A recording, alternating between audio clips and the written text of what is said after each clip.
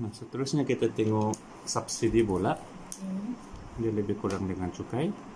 Cukai kerajaan suruh pengeluar bayar untuk setiap unit yang dijual. Subsidi pula kerajaan akan bayar kepada pengeluar. Iya. Okey. So maksudnya bezanya yang paling utama so daripada katakan ini persamaan demandnya so bila dia bagi subsidi katakan IM3 Hmm.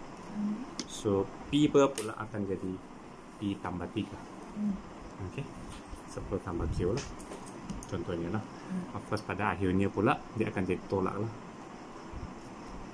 Eh, logik lah bila kamu pindah ke sini kan. Hmm. Okey.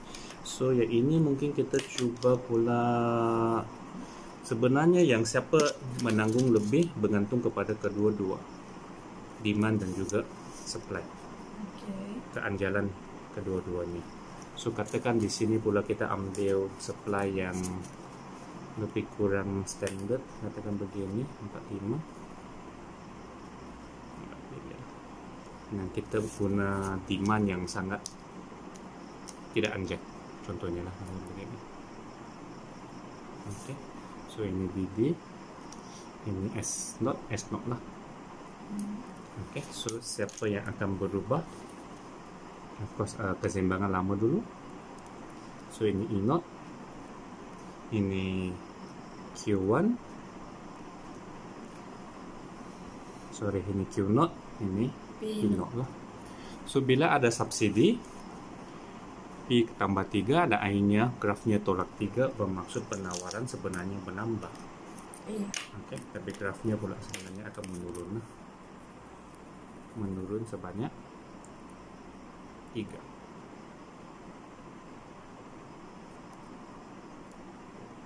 Okey, so ini S1. Ini S1 lah. Okay, so sinilah. Sini sampai sini kan subsidi ini. Okey, apa lagi akan berlaku? So, keseimbangan baru atau dia sorry tadi yang ini bukan ROI ini sebenarnya ini beza kan Iya. yang ini harga meningkat yang ini hanya perbezaan lah so sini ditanggung pengguna pengguna, sini ditanggung pengeluar. pengeluar okey so di sini pula di manakah keseimbangan baru Hmm. Q1 dan juga P1 tapi sama juga sini subsidi kan Hmm. So sini P kosong, sini P1, sini. Ini akan jadi P2. Okey, ini P2 bermaksud di sini. Yang subsidinya di mana? Yang Dari mana ke mana subsidinya? dari P1 ke P2. Oh, sorry. Di situ kah? Sekejap. Oh, bukan di situ. Sorry. Sekejap. Apa berlaku dulu? Ah, harganya di mana? Sorry. Harga baru kan? Kita bukan tengok harga lama. Iya. Dia macam sini pun kan? Hmm. Kita tengok di kuantiti baru. Okey. So, bermaksud kuantiti baru di mana? Ini P1 kan? Iya. Sini Q1. Hmm. So, Q1, sini P kosong kan? Hmm. So sebenarnya sampai sini. Sini yang P2 ni. Oh. Okey, nah apa logiknya sebenarnya begini. Harga jualannya sekarang berapa? P1 kan? Satu ya. Tapi sebagai tambahan pengeluar juga akan menerima subsidi ini. So dia akan sampai ke P2. Oh. Nampak kan? So maksudnya sini ialah subsidi yang dia akan terima. Okey, so harganya me Menurun. dari P not kepada P1 lah. Oh, oke. Okey. So dari harga-harga dia dari P kosong menurun kepada P1 untuk Q Q kosong meningkat kepada Q1. Hmm. Okey. So subsidi pula uh, subsidi yang dikeluarkan oleh kerajaan. So jumlah subsidi sama dengan sebelum ini. So kena tahu tadi cukai kan? Iya. So di sini subsidinya lah. So subsidi setiap unit darab dengan Q1. So kalau dari segi segi empatnya subsidinya sini P1 P2 mm, darab dan Q1 so segi empat ini lah. mm, Letaklah apa-apa huruf supaya kita tahu mengenai ini. mm. Okey. Sekarang ditanggung ataupun apa? Subsidi kerajaan bagi kan? Iya. So siapa yang menikmati itu faedah sebenarnya. Okey. Kita tengok di sini harganya ini agak jelas lah. Harga turun banyak kan? Iya. Harga turun banyak so peng, pengguna dulu kena bayar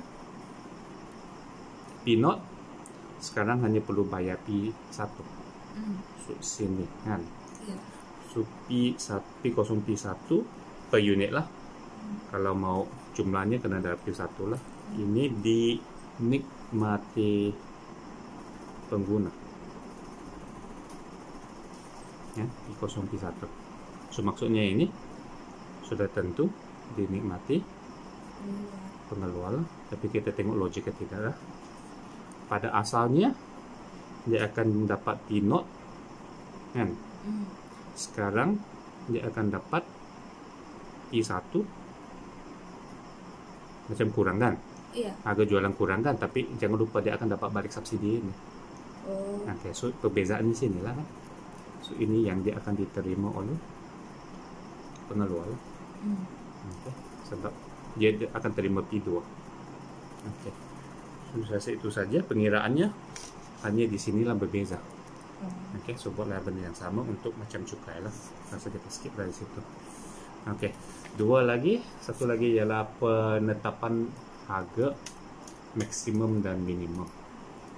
Okey, ini pun jangan terkeliru. Satu ialah harga maksimum. Mm, Harga maksimum, maksimum ini tinggi kan? Iya. Ya, tapi saya sebenarnya jangan ingat harga maksimum harga tinggi. Harga maksimum ialah harga tertinggi.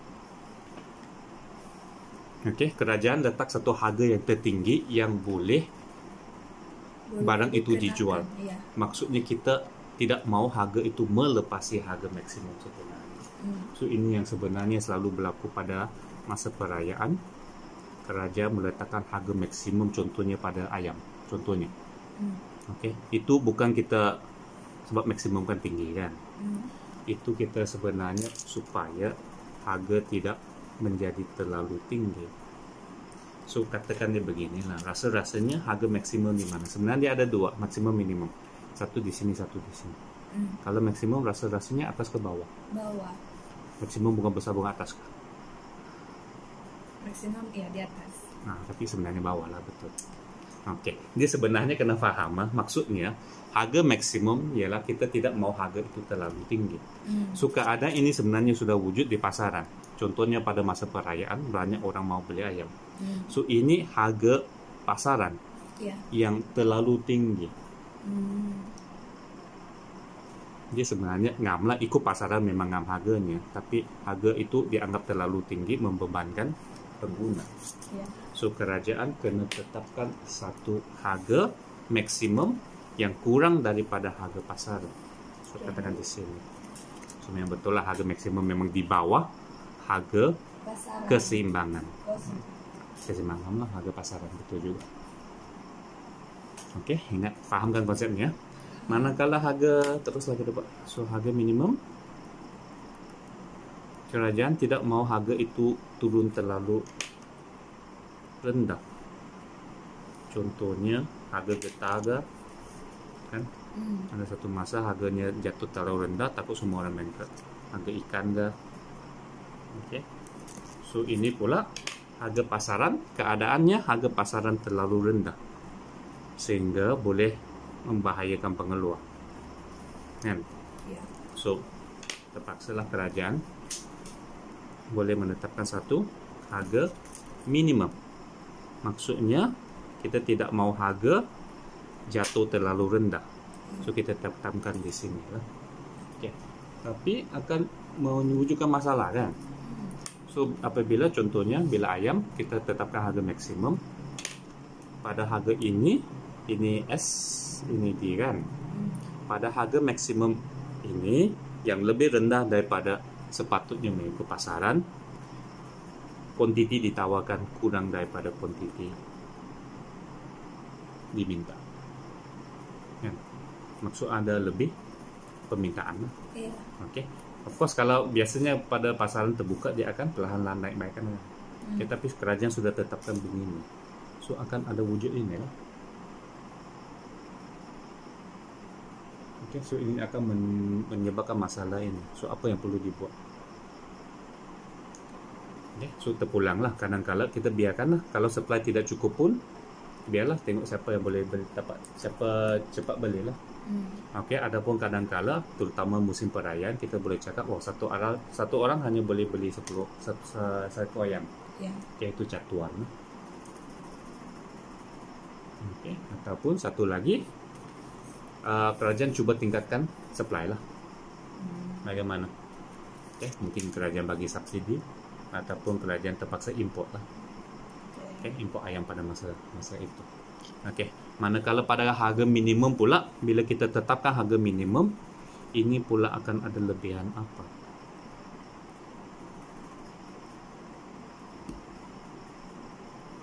Demandnya sikit, supply-nya banyak. So lebihan penawaran. Okay. Okay. So yang ini terpaksa lah sebab kalau kamu biarkan terlalu, terlalu banyak stok terpaksa dia akan turun juga harga. Hmm. Okay, yang ini terpaksa kerajaan yang beli lebihan tersebut. Untuk harga maksimum, harga akan turun Hmm. daripada P0 kepada P1 okay, menyebabkan kuantiti yang ditawarkan menurun tapi kuantiti men- yang diminta meningkat. So yang ini uh, kekurangan kan? Ya. Kekurangan supply yang kena diselesaikan dengan cara-cara tadi lah. Hmm. manakala untuk harga minimum ada P0 bila kita tingkatkan harga kepada P1 so yang diminta Q1 yang di supply ialah Q2 so ada lebihan di sini kerajaan kena beli. Okay, so yang ini perbelanjaan belanjaan kerajaan. Dia akan beza ini kuantiti dia kena beli pada harga P1 Okay. Okey, maksudnya segi empat ini. Kalau kita dua alfabet di sini maksud saya segi empat A, B, Q2, Q1. Hmm. Okey. Lepas tu kita tengok lebihan lah sekali lagi. Lebihan itu akan membantu kami tengok apa siapa yang dapat manfaat dari sini. So yang ini lebihan pengguna pada asalnya sini dan pada akhirnya di sini. Kan? So Ya. lebihan pengguna yang meningkat untuk pengeluar sebenarnya dia berkurang. Hmm. So sini lebihan pengguna meningkat. So jelas kerajaan buat ini untuk kebaikan pengguna. Untuk Ya. kes ini. Okay, manakala ini pula lebihan pengeluar yang nampak jelas meningkat dengan banyak. So di sini lebihan pengguna yang meningkat bermaksud langkah ini sebenarnya dibu- dibuat untuk kebaikan pengeluar. Hmm.